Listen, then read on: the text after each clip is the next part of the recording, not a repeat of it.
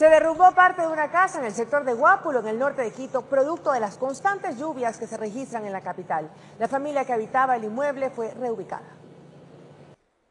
Un estruendo levantó a la familia que allí habitaba. El sonido que se produjo a eso de las 6 de la mañana de este lunes 20 de marzo los alertó y al salir de su habitación se dieron cuenta que una parte de su casa había colapsado. O sea, yo la primera vez que escuché este, el primer ruido al, como a las 5 y media por ahí. Y pero fue él, pensaba que era trueno, pensábamos nosotros que era trueno. Y cuando ya los levantamos, mi esposo dice, este, dice Andreina, Andreina, levántate, que la, coge los bebés y arrópalos porque se, se, está cayendo la casa. Las fuertes lluvias y la evacuación de aguas servidas habrían sido la causa principal para que el muro cayera.